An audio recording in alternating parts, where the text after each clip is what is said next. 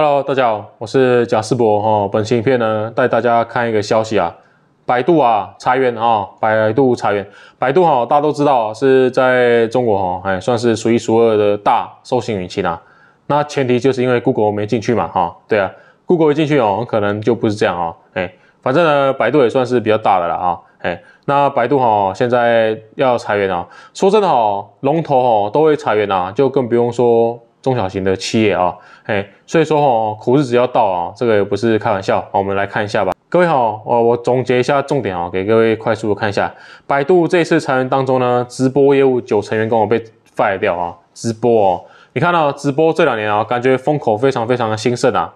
结果呢，现在马上就要大裁员，连维亚都被全网封杀，游戏部门啊全军覆没，游戏部门三百多人呐啊，接近全部被裁。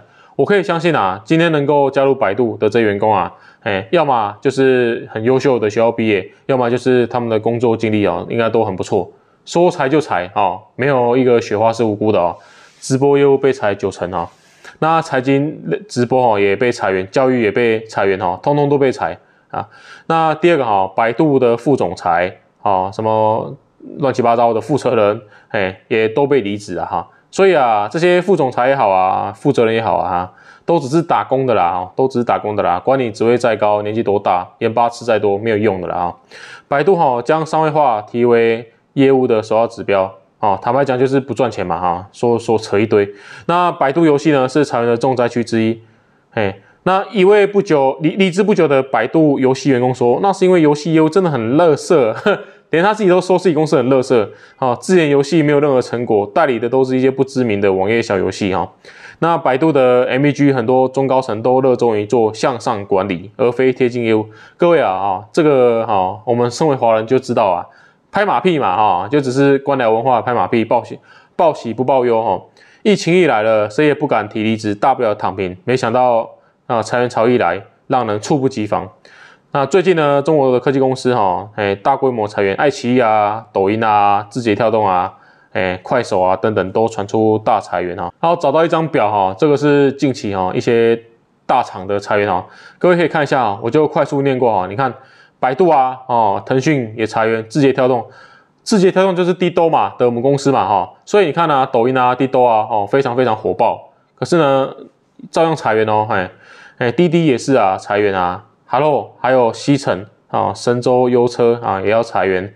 瓜子、苏宁、新浪阅读啊，这个 VIP Kid 啊，这个我比较不知道。马蜂窝、唯品会，唯品会股价说真的表现也很差哈。去哪儿啊？宜信，然后水滴、未来汽车，未来汽车，未来汽车也要裁员哈。未来汽车去年涨三十倍，结果现在要裁员哈。快手游戏部门三六零。好，爱奇艺，爱奇艺这个我们之前有做过专题的。我最近哦做了很多专题哦，真的都是跟中国科技公司哦来去裁员哦有关系啊。所以说真的哦，在收集这些资料过程之中呢，我看的也是触目惊心，而且也是有感而发。好，第一个哈，故意选择在新年之前啊，哎来大裁员啊，大家都知道嘛，呃，新年大概大部分都是在一月份、二月份嘛，哈，哎，大裁员啊，哈，资本真好手段哈，哎，奇怪，为什么共产主义之下资本？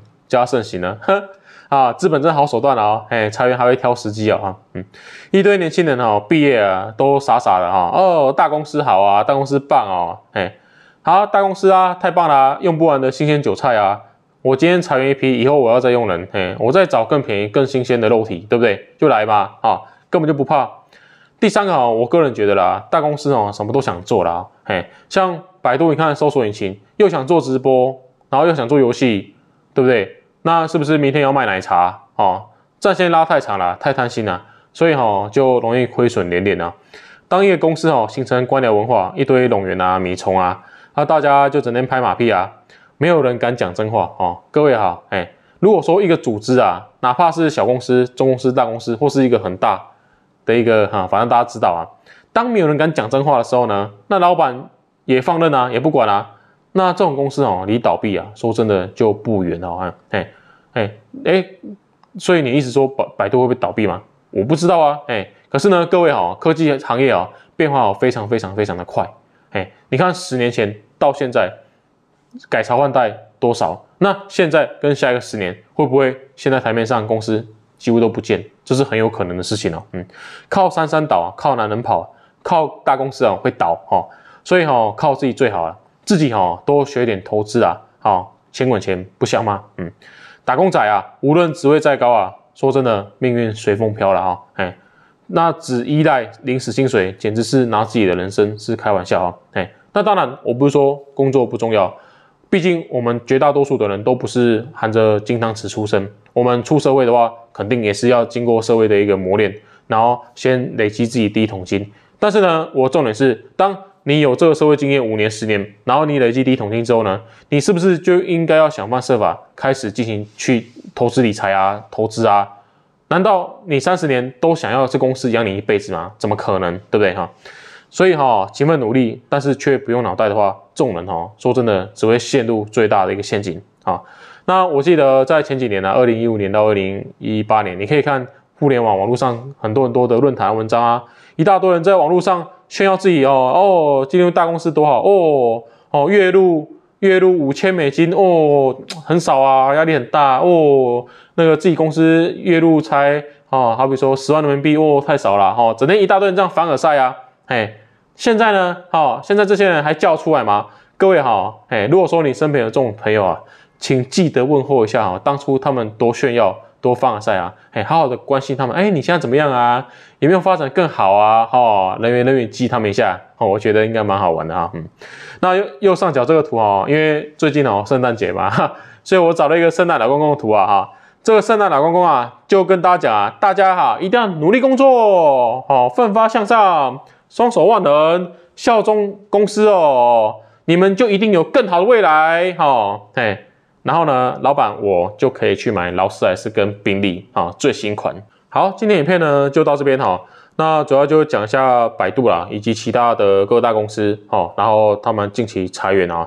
那说真的啊，没有人希望说裁员。如果说今天假设我们是一个高学历啊的年轻人，我们也希望说加入大公司，然后呢，前程似锦。然后甚至呢，爸爸妈妈也是以我们为荣嘛。可是呢，我们都不是第一天出社会，对不对？我们在社会经验，哦，难免也是看到好跟不好的一现象。所以哈，我们也知道啦，哎，单纯的依赖公司哦，哎，也是很不可靠。如果说你今天加入一个大公司，那老板对你不错，把你当自己人，那你运气真的很不错，你一定要好好的跟这个老板。但大部分公司呢，要么就惯老板，要么呢，哎，说裁员就裁员，说倒闭就倒闭。实在是风险太大，所以呢，各位哈，一定好好的，要好好的去学理财啊，学投资啊，越早越好了哈。好，那今天影片到这边，谢谢大家，我们下次见，拜拜。